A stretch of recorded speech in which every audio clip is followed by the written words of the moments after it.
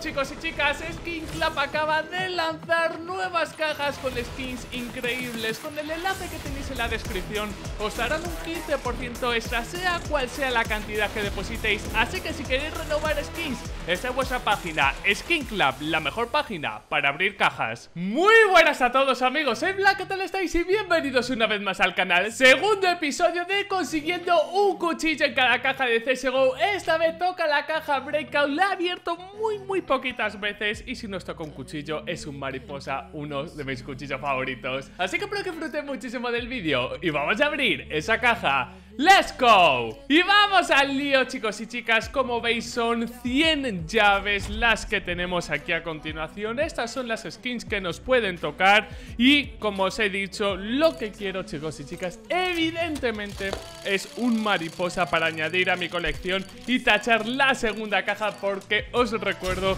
que la Fénix ya conseguimos un cuchillo Así que vamos a hablar de un tema Luego como siempre os pondré los mejores momentos Ya que abrir 100 cajas es una auténtica barbaridad.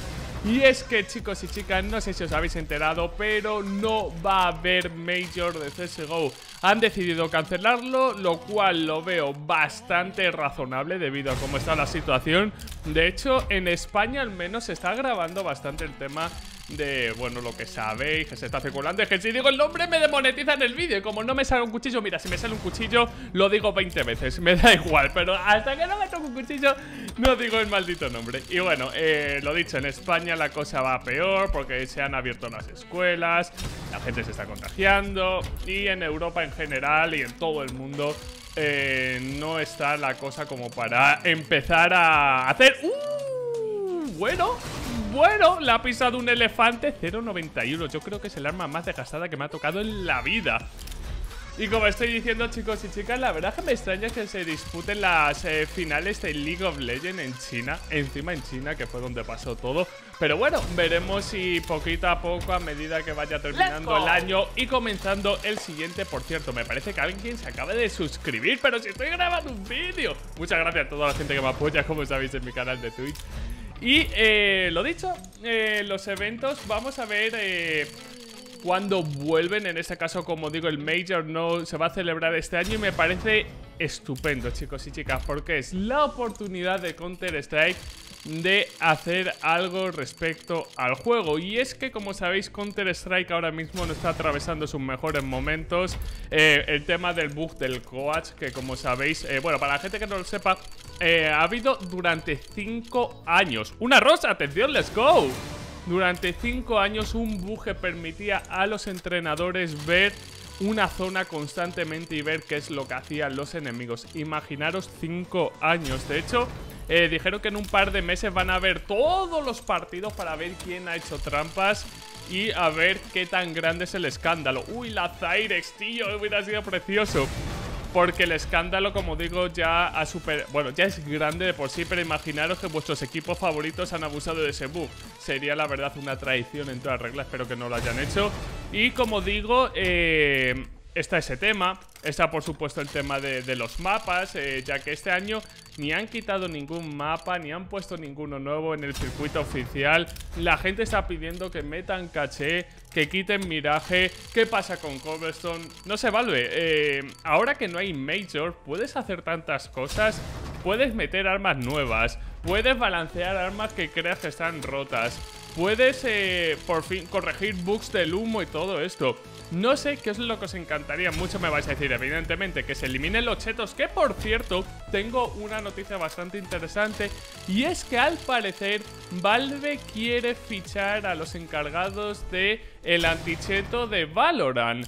La verdad, a mí sería una brutalidad, no os voy a engañar. Hay mucha gente que el anticheto de Valorant no le gustaba mucho porque al parecer era bastante intrusivo con el ordenador, hasta desactivaba ventilaciones, bueno, leí de todo, ¿no?